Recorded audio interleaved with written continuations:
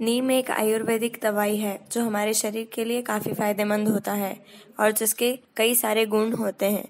नीम हमारे शरीर, त्वचा और बालों के लिए बहुत फ़ायदेमंद होता है।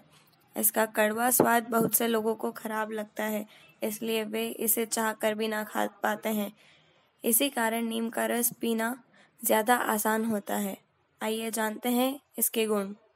नीम का रस पीने से पहले अपनी नाक को दबा लें। इसे जूस को पीना आसान हो जाता है।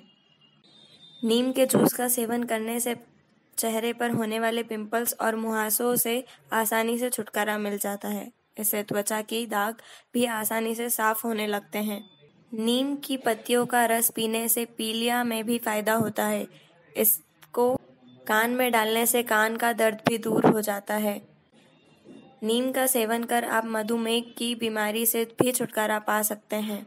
अगर आप रोज़ाना नीम का जूस पियेंगे तो आपका ब्लड शुगर लेवल बिल्कुल कंट्रोल हो जाएगा प्रेगनेंसी के दौरान अगर आप नीम के रस का सेवन करती हैं तो आपको ऐसे में योनि के दर्द से छुटकारा मिल जाता है subscribe our channel and press the bell icon for more updates.